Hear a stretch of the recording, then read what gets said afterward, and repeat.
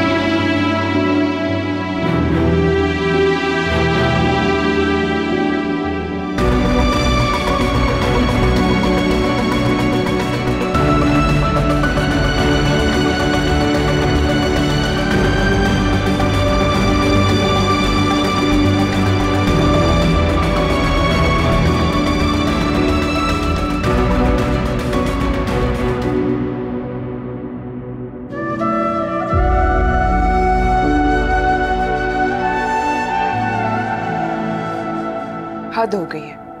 हम समझ रहे थे कि हम भूल गए मगर यहाँ तो जानबूझकर। बस करो वरदा बस करो चुप हो जाओ। क्यों बस करूँ और क्यों चुप कर जाऊँ?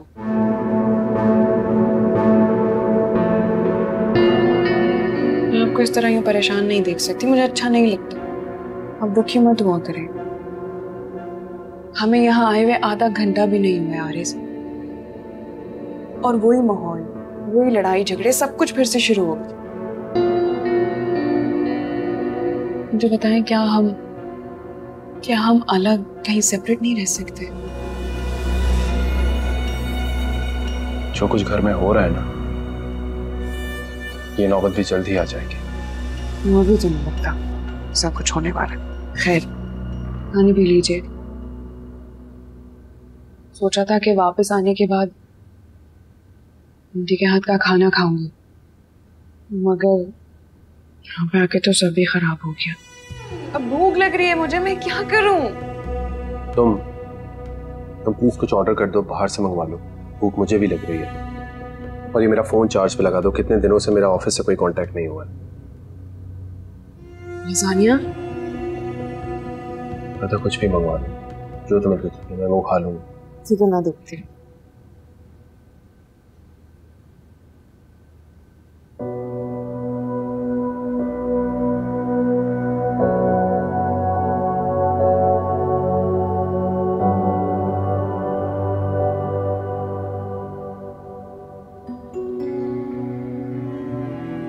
अरे इस कदर भी मत करो कि पशेमानी में समंदर में डूबने का मकाम आ जाए तुम्हें। ठीक ही कह रहे थे। रोना बंद करें प्लीज़ चुप हो जाए। थोड़ा सा पानी पिए ले बेटा तुम जानती हो मैं और हुदा उनके कमरे में कभी नहीं गए तो फिर उसने ये इल्ज़ाम क्यों लगा दिया? मैं हो सकता है कोई गलत फहमी हुई हो। मैं भाभी से बात करूँगी और भाई से नहीं नहीं। नहीं बेटा। किसी से बात करने की कोई ज़रूरत नहीं। एतबार और यकीन दिल में हो। और जब ये दोनों चीज़ें दिल से निकल जाए तो सिर्फ़ गलत फहमी नहीं नफरत बनती। सिर्फ़ नफरत। अम्मी अब मुझे एक बात बताएँ। भाई आपसे नफरत कैसे कर सकते हैं? है आप उनकी?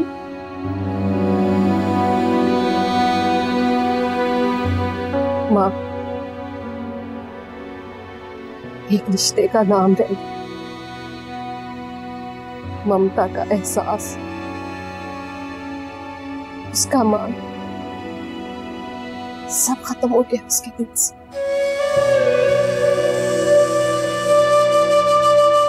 युसरा विधा। तुम खुदा और अजमी को ये सब बातें मत बता दो बेटा वो नौकरी के लिए पहले ही दर बदर खवार हो रहे बच्चे वो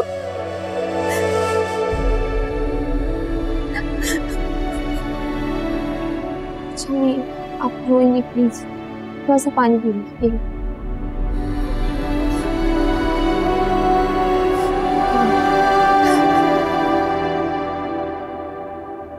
आ गया। लजानिया। चलो गुड। लो दे दे। वर्धा क्या हो गया? चक्कर आ रहे हैं पता नहीं क्यों। इधर बैठ इधर बैठ आराम से आराम से। वर्धा क्यों तुम इतना स्ट्रेस ले रही हो? हम कोशिश करेंगे ना अलग होने की। ज़्यादा मत सो जाओ और सुबह से कुछ खाया नहीं है तभी तो चक्कर आ रहे हैं। तो मैं खुद सर्व करता हूँ। चलो चलो खाओ अरे वर्धा वर्ध ये तो होगा जब कुछ खाओगी नहीं तो।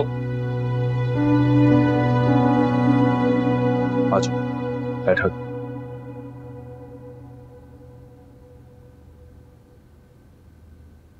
आप इसे पैक कर दें मुझे इसके स्मेल से ना तबीयत खराब हो अच्छा ठीक है। मैं कर देता हूँ। एक काम करते हैं डॉक्टर के पास चलते हैं। मुझे नहीं जाना है डॉक्टर के पास। आप मुझे मामा के घर छोड़ देंगे? लेकिन लेकिन तुम्हें एक प्रॉमिस करना कि फिर तुम आंटी के साथ डॉक्टर के पास जाओगे। आरेज दो दिन से तुम अपनी डाइट का ख्याल नहीं रख रही हो वर्ता। मैं अपनी सेहत के लिए तुम्हें लापरवाही की इजाज़त बिल्कुल नहीं दूँगा। अब मेरी बहुत फ़िक्र करते और ये आपकी मोहब्बत ही। है ये छोड़े ये सब कुछ। मैं मैं किचन में रख देता हूँ। हम अगर आप तो खा लें कुछ। नहीं मैं ऑफ़िस में कुछ खा रेडी होके आता हूँ मैं ड्रॉप कर दूँ।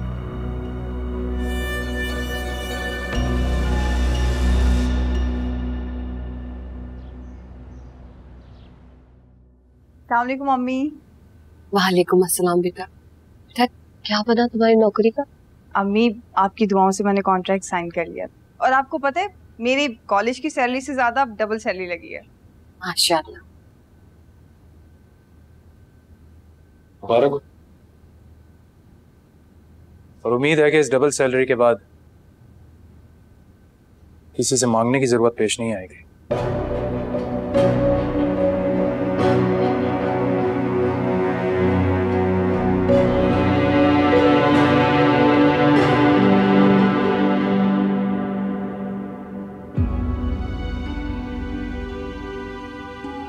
पता नहीं भाई को क्या हो गया है। अरेज भाई पहले ऐसे तो नहीं थे। इतने तंज भरे, जहर आलूद जुमले वो कितनी आसानी से कह देते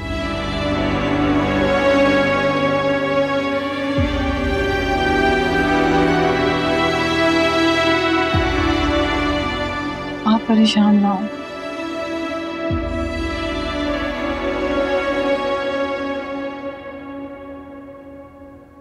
मामा मामा मा...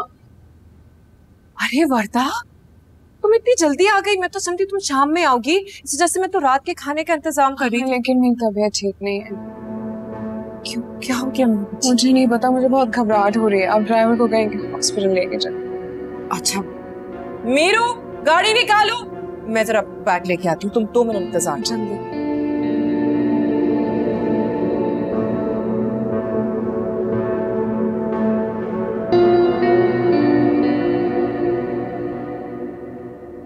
दूसरा तुम पैटिस लो ना। और जाओ तुम चाय लेके आओ चढ़ाई हुई जल्दी लेके आना ठंडी हो जाएगी।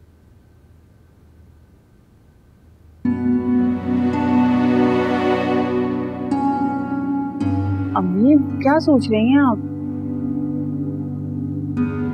कुछ नहीं।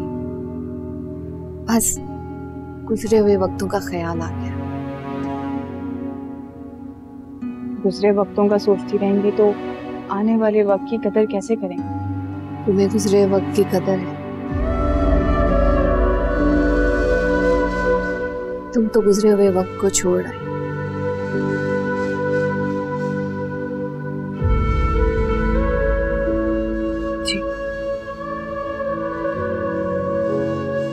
अजमी चाय ले आओ प्लीज़ जवाब है? ये चाय? अच्छा एक तरीके से एक अच्छी सी ट्रीट हो गई ना आपकी जॉब के लिए मासूमाना सी। हाँ।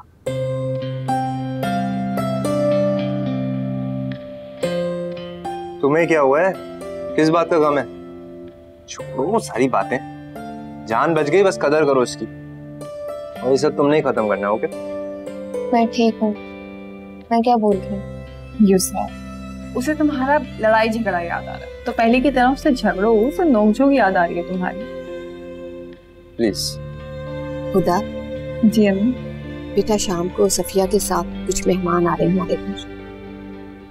सफिया खाला के मेहमान यहाँ क्यों आ रहे हैं? हाँ बेटा।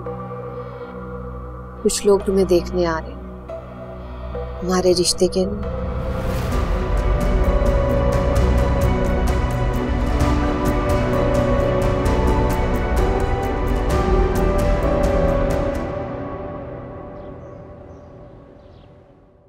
डॉक्टर साहब खैरियत है ना?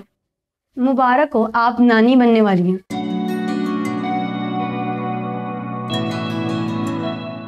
शुक्र अल्हम्दुलिल्लाह बहुत मुबारक हो बरता। आपने अपनी सेहत और खुराक का बहुत ज़्यादा ख्याल रखना है? जी।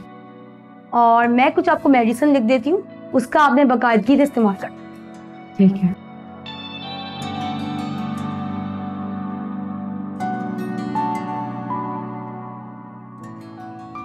अम्मी आपको बैठे बैठाए अचानक क्या सोच गई है? बेटा इसमें नया क्या है? शादी तो तुम्हारी करनी है ना? आज नहीं तो कल। अम्मी घर के हालात देख रही हैं आप। इन हालात में मैं आप सबको कैसे छोड़ के जा सकती हूँ? अरे बेटा किसने कहा कि तुम हमें अकेला छोड़कर जाओगे? देखो हुदा राजिक सिर्फ़ अल्लाह की जात है। सिर्फ़ अल्लाह। और अगर हमारा रिस्क तुम्हारे ज़रिए अल्लाह ने लिखा है ना? तो तुम जहाँ भी होगी जिस सूरत में होगी तुम्हारे ज़रिए हमें रिस्क मिल जाएगा। और अगर ऐसा नहीं है तो तुम यहाँ रहकर भी कुछ नहीं कर पाओगे। अरे इसकी तरह। अम्मी आप खुदा। ये मेरे जुड़े हाथ। शायद ये मेरे जुड़े हाथ। तुम्हें तुम्हारी माँ की बेबसी का एहसास दिला सके। देखो बेटा, इनकार मत करना। अम्मी, अब आपने मुझे बोलने के काबिल ही नहीं छोड़ा।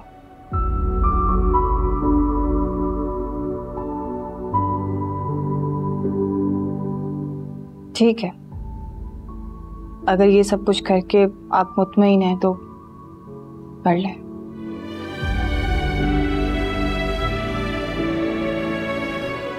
खुदा, बेटा कुछ देर पहले तुमने ही कहा था कि तुम्हें वक्त की कदर है और गुजरे वक्त को तुम पीछे छोड़ आई। मुझे पूरा यकीन है कि तुमने हर्फ ब हर्फ सच कहा है।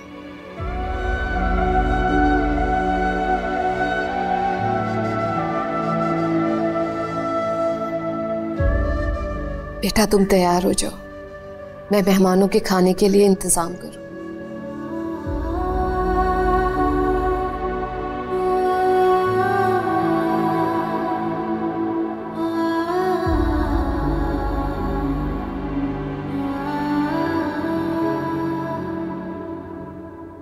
अरे मैं आज इतनी खुश हूँ, इतनी खुश हूँ कि मैं बता नहीं सकती। बस अब आप जल्दी से आ जाए, ताकि वो गुड न्यूज़ मैं आपको सामने बिठा कर सुनाऊं। ओके खुदा हाफिज क्या हुआ? आरेस को खुशखबरी सुनाई? नहीं अभी नहीं सुनाई। मैं सामने बैठकर उन्हें बताऊँगी। अच्छा है अभी मत बताना। उसको पहले आने दो सामने बिठा के फिर बताना। और फिर इस खबर को इस्तेमाल करके ना आरेस से चाहे जो भी हो उससे मनवाना। मनवा तो मैं वैसे भी सकती हूँ। मैंने तो अभी से कह दिया कि मुझे अलग घर लेकर दे। अरे पागल हो गई हो। अकेले घर में क्या क्या संभालोगी? तुम्हारा दिमाग तो नहीं खराब हो गया। यही तो टाइम है कि अपनी सास नन शोहर से अपने नाज उठवाओ। और अब तो तुमने बताया था कि उस हुदा की तनख्वाह भी डबल हो गई। भाई, सारे खर्चे उससे उठवाओ। अपनी सास से सारे काम करवाओ। और अपने शोहर से अपनी सेवा कराओ। तुम आराम करो ना। अरे वाह। लॉन्ग टर्म प्लानिंग और वो भी मिनटों में। कोई आपसे सीखे? मैं करती हूँ बात उससे डोंट वरी जब तुम जूस पियो। थैंक यू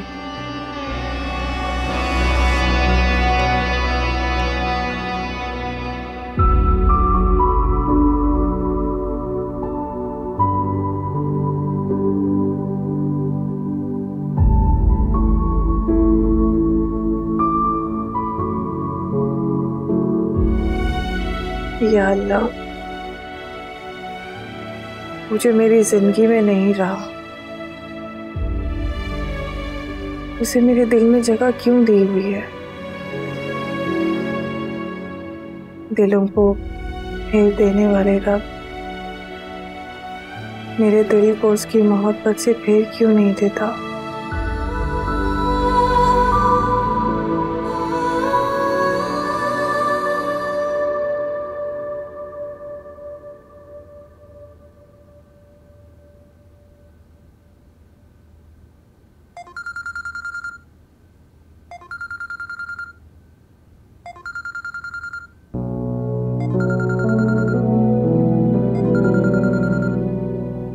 लड़की के पास और कोई काम ही नहीं है।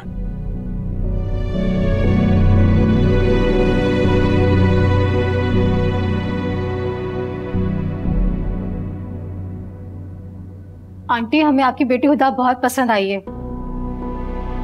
हाँ बहन हमारी तरफ़ से तो हाँ समझिए। मैंने कहा था ना आपको एक दफ़ा ही देखने में खुदा बेटी पसंद आ जाएगी। वैसे आंटी हमारा आदिल भी बहुत खूबसूरत है। दोनों की जोड़ी ना चाँद सूरज की जोड़ी होगी। मैं तो कहती हूँ कि हुदा को आदिल की दुल्हन बना दे। अब अम्मी मैं जरा किचन से आती हूँ। ठीक है बेटा तुम किचन के काम देख लो।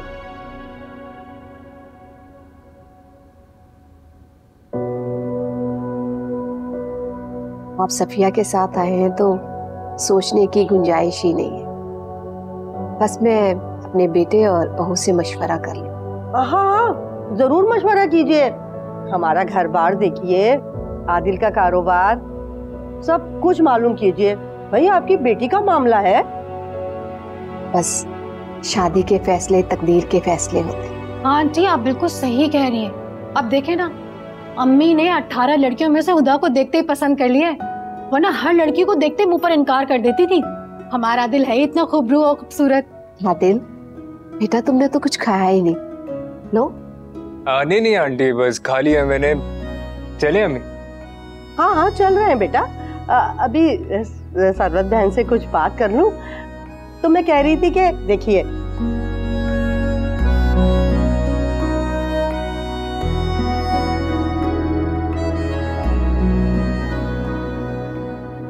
माहम कहाँ जा रही हो? माँ आप जानती हैं कि मैं कहाँ जा सकती हूँ। फिर क्यों पूछ रही हैं? माहम अपनी इज़्ज़त करवाना सीखो। जब से तुम्हारी मंगनी हुई है वो तुम्हें कहीं लेकर गया या उसने तुमसे पूछा भी कि कहीं तुम चलोगी या आज तक उसने कभी इस घर में कदम रखा? माम आपकी ट्रिक्स मुझे ना बताएँ जो कभी आपने खुद भी अप्लाई नहीं की है। माहम मैंने अपनी अना की नफी सिर्फ़ अपने हस्बैंड के लिए की है। क्या वो तुम्हारा हस्बैंड है? अजमी मेरा शोहर आप लोगों की वजह से ही नहीं है। अगर आप लोगों ने चाहा होता तो वो आज मेरा शोहर होता।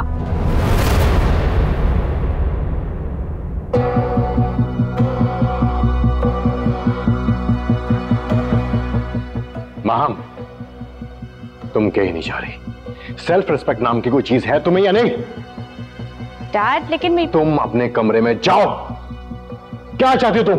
एक ही बार बता दो मुझे। हाथ जोड़ के तुम्हारा रिश्ता तय करवाया अब क्या फांसी पे चढ़ के तुम्हारी शादी करवाऊं मैं? दूसरों को अपनी मर्ज़ी से नहीं चलाया जा सकता। स्ट्रेंज ये बात आप कह रहे हैं?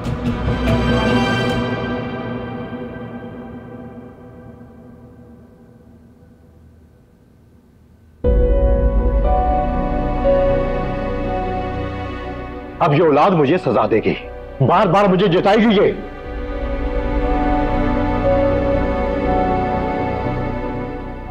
आज तैयार है ना? हम भाई साहब के घर जाएँगे, इसकी शादी की तारीख तय करने।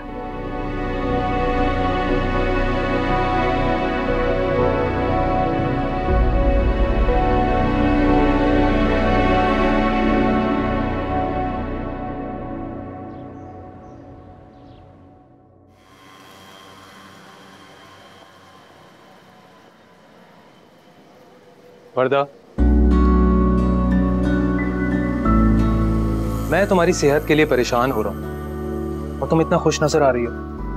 अंकल के यहाँ भी मुसलसल तुम चहक रही थी। चहकना तो बनता है।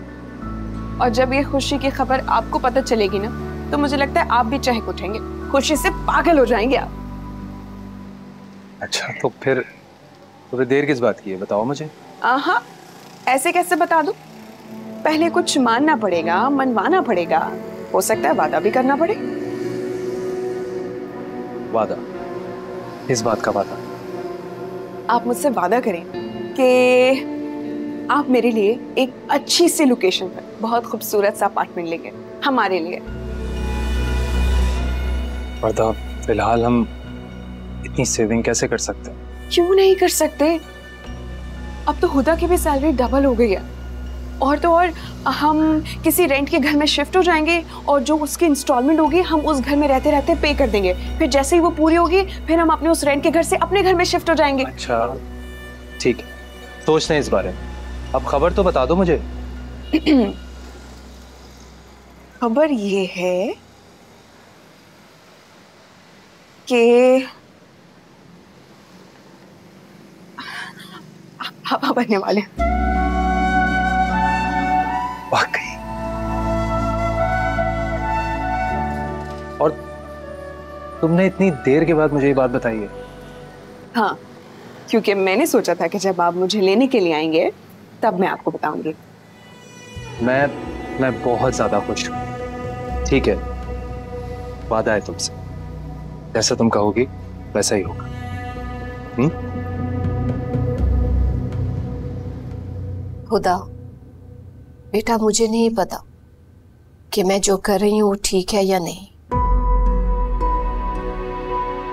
बाकी नतीजा अल्लाह के इख्तियार में बस बेटा, मैं तुम्हें तुम्हारे घर में हंसता बसता देखना चाहती अम्मी, ये बातें अपनी जगह सब सही हैं, मगर आपको इतनी जल्दबाजी करने की ज़रूरत नहीं है। खुदा आप ही को सोचने का मौका तो दें।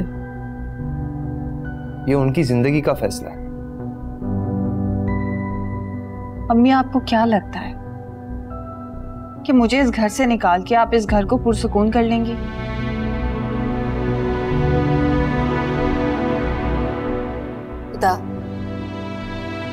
तुम्हें जो समझना है तुम समझ लो। मैंने इरादा पक्का कर लिया है।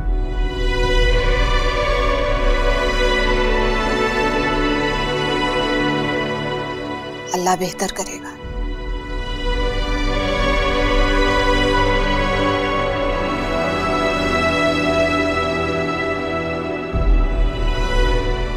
नहीं अम्मी को क्या हो गया बता उन्हें डर लगता है। खुदा आप ही के यहाँ रहने से। घर में लड़ाइयाँ होती रहती है ना? कितनी समझदार होगी हो ना तुम? बस मैं ही नहीं समझ सकी कि मेरी माँ बहन भाइयों को सिर्फ़ जरूरतों की ही नहीं बल्कि सुकून की भी ज़रूरत है। खुदा आप ही अब किसकी बातों का यकीन कर रही ये तो खुद बेवकूफ़ है।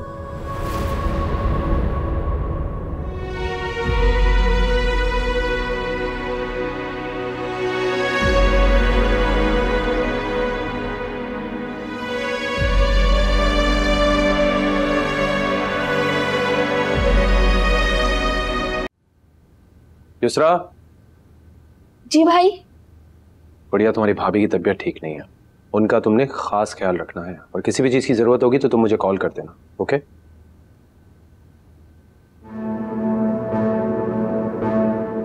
ठीक है भाई लेकिन भाभी को क्या हुआ है?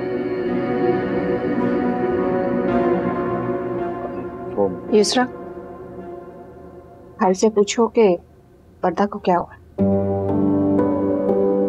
अब मेरी माँ मेरी खुशी की खबर किसी और से पूछेंगे।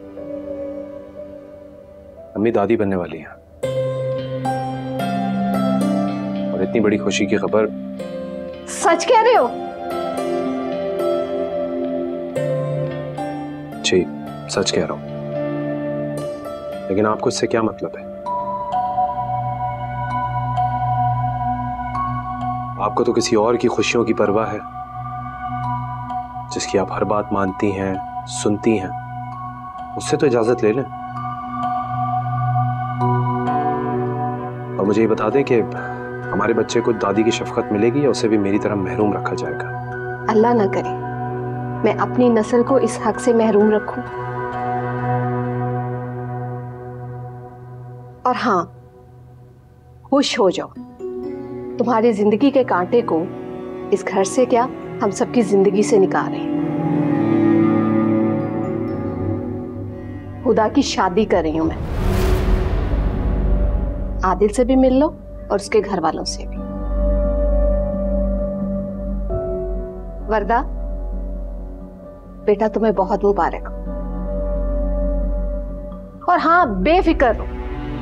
तुम्हें घर के काम करने की क्या, सोचने की भी जहमत नहीं महसूस होगी। तुम्हें हर चीज़ तुम्हारे कमरे में वक्त पर मिल जाया करेगी। हुँ?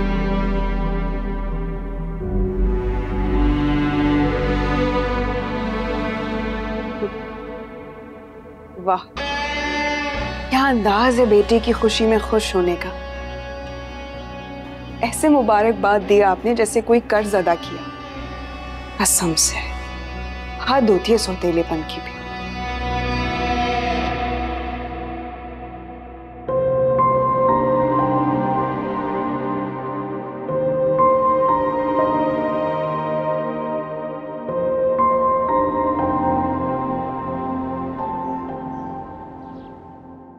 मैं ना आज भरता को डॉक्टर के लेके गई थी। जानते हैं डॉक्टर ने क्या कहा? एक मिनट एक मिनट। डॉक्टर ने जो कहा वो तो मुझे बाद में बताना। सबसे पहले ये बताओ कि ये मिठाई किस खुशी में? बताती हूँ। अजमीर अजमीर तुम भी आओ। ये लो। ये किस खुशी में? कहीं बाबा ने आपको बहुत बड़ा सरप्राइज़ तो नहीं दिया? अरे नहीं बेटा आपके बाबा भी बेखबर हैं। आपकी मामा बता ही नहीं रही हैं। अब तो बता दो। आप नाना बनने वाले हैं और तुम मामू। इतनी बड़ी खुशी की बात और तुम अब बता रही हो। कमाल हो गया है। ले ले मिठाई ले। हाँ हाँ लाओ लाओ। माशाल्लाह दैट्स ग्रेट अच्छा अब कल जो है ना आप दोनों ऑफ़िस से जल्दी आएँगे। फिर हम ढेर सारी मिठाइयाँ और बहुत सारे गिफ्ट्स लेकर वर्दा के पास जाएँगे।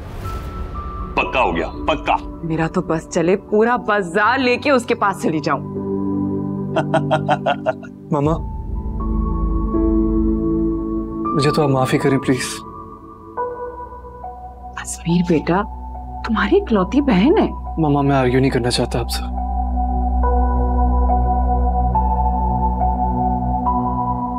मैं अपने हिसाब से चला जाऊँगा। सॉरी लड़के के दिमाग से अब तक वो लड़की नहीं निकल पाई है। और तुम क्या करती? अंदाज़ा है तुमको? वो जिस लड़की के सामने जाना नहीं चाहता और तुम चाहती हो कि बार बार वो उसके सामने जाके खड़ा हो जाए। नहीं तो क्या करूँ? अपने बेटे को उस लड़की से मुँह छुपाए रखने पर शाबाशी तुम नहीं बिल्कुल नहीं। बल्कि काम किया करो। उसके जख्म पे रोज़ाना नमक छिड़का करो ताकि उसका जख्म जो है ना वो ताज़ा रहे। उसको याद आती रहे। तकलीफ़ में रहे वो।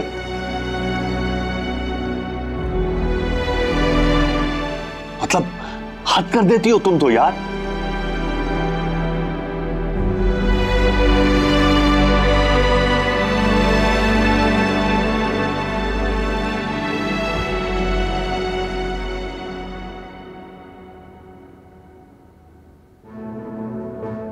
खुदा की शादी कर रही हूँ मैं। आदिल से भी मिल लो और उसके घर वालों से भी। ये सरवत आंटी का दिमाग और ज़ुबान कुछ ज़्यादा ही चलने लगा। और ये रिश्ता ये कहाँ से आ गया? ऐसा कौन निकल आया है जो इस बदनाम जमाना लड़की को रुखसत करके ले जाए? ये राज अब यूसरा ही के ज़रिए खुलेगा।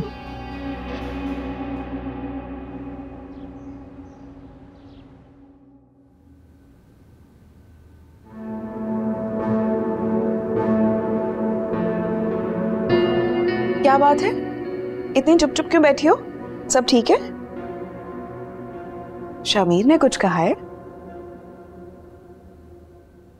भाभी उस उस शख्स का मेरे सामने नाम नहीं ले। तुम तुम रो रही हो? क्या बात है, मुझे बताओ। सब ठीक है? किसी ने कुछ कहा है? मैं तो पूछने ही भूल गई तुम। तुम मुझसे मिलने के लिए गई थी, क्या हुआ है? रोना तो बंद करो। बताओ मुझे क्या बात है। बताओ। भाभी मैं वो शामिर है ना? शामिर ने क्या? अरे भाई आगे भी तो कुछ बोलो। भाभी मैं जब उससे मिलने गई थी ना वो अपने फ्लैट्स में लेके गया था मुझे।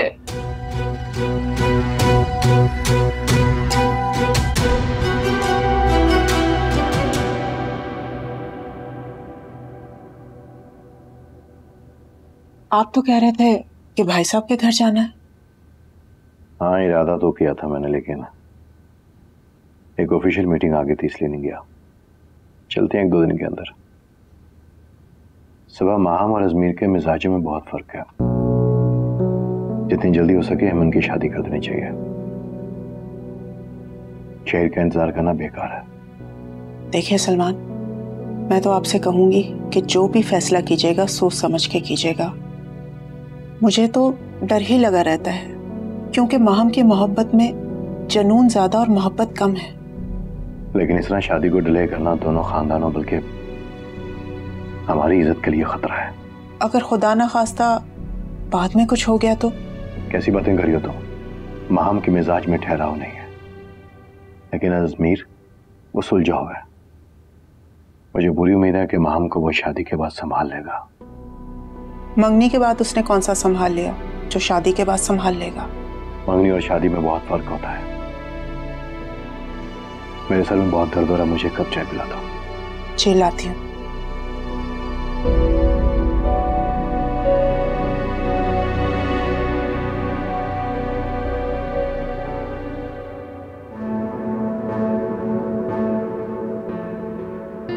बड़ी अकलमंदी दिखाई युसरा ने। जो किसी के सामने मेरा नाम नहीं लिया। मगर कब तक? एक तरफ़ यूसरा की, उससे दोस्ती और मुलाकात मेरे लिए मुसीबत बन गई। और दूसरी तरफ़ खुदा की शादी।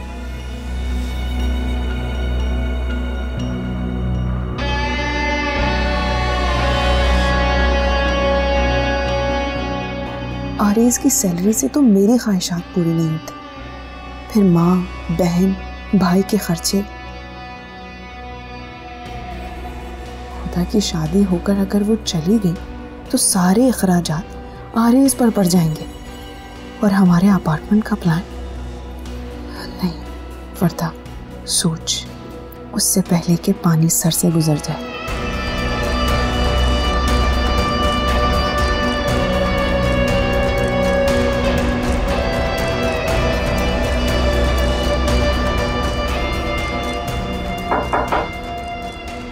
आ जाए। ये आ गया सारा सामान। अरे इतने सारे पैकेट्स? क्योंकि मुझे कुछ समझ में नहीं आ रहा था कि मैं क्या लूँ। तो मीठा चटपटा सब कुछ ही मैं उठा कर ले आया। वो क्या कहते हैं कि इस कंडीशन में मूड स्विंग्स होते हैं ना तो मुझे पता ही नहीं था कि तुम्हारा क्या दिल करेगा खाने का। चले ये तो आसानी हो गई ना फिर। अब आपको सब कुछ समझ आ गया। अब जब भी मुझे कुछ खाने का मूड हुआ करेगा तो मैं रूम की सारी चीज़ें तोड़ फोड़ कर दूँगी। हाँ तो ठीक है तोड़ देना। मैं सारा सामान दोबारा से ले आऊँगा। दिल खोल कर तोड़ना। मैं ये समझूँगा कि मामा का लाडला या बाबा की लाडली का मूड खराब है। गुस्से में है वो। हम्म? अच्छा बताओ। क्या दिल कर रहा है खाने का? मेरा या